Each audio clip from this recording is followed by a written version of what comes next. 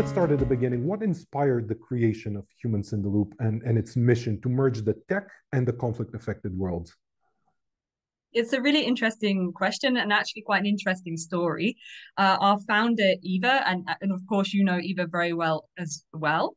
Um, after completing her university education, she came back to volunteer with some NGOs in Bulgaria, where our organization is based, and really got a great experience working with others who were in the NGO sphere, and also very closely getting to know the everyday challenges and struggles of people who have been displaced from their home countries and were seeking asylum or refuge in Bulgaria.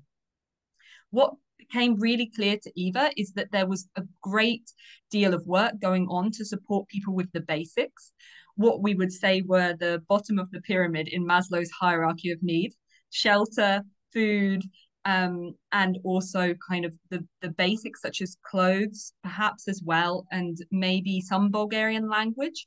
But really, where there was a gap was allowing people, once they had those basic needs met, to step up, to integrate into the society, into community, and also to become financially independent so they could then begin to be making decisions and choices for themselves again rather than relying on the NGO sector to support them.